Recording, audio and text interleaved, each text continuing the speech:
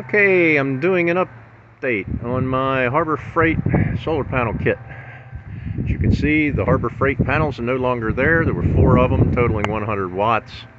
Uh, I've now moved to these New Powa panels that you can buy on Amazon.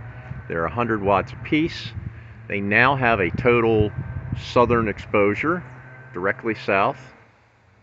Um, I made some changes here and all the although these still face directly south um, it's the orientation of the sun in the winter. It starts moving from the east directly well not directly to the south but like a southeastern direction. The sun comes up there. So now they're getting full power here. But in the afternoon the sun as it comes around the sky the southern sky then it moves a little bit to the west. Of course the sun used to set there. Now, as the season progresses, the sun is setting more over here. So, as a result, I've changed my orientation of the panels. And I figure that once the sun has disappeared from the New Powa panels, it has gone back to the uh, Harbor Freight panels, which now have a 100% western exposure, but it'll pick up a little bit to the northwest as, as the sun goes down. Um, I wanted to show you the New Powa panels don't come with any brackets. So I made up my own with PVC, a little half inch PVC and just screwed it right to the back of the panel. As you can see, that worked out pretty well. All right, now let's take you down the basement and show you the other improvements that I've made. Okay, the Harbor Freight kit is a great hobby kit, but if you're going to get serious about solar, you know, you're just dipping your feet into the water, so to speak, when you buy that kit. This was the first thing that bit the bullet.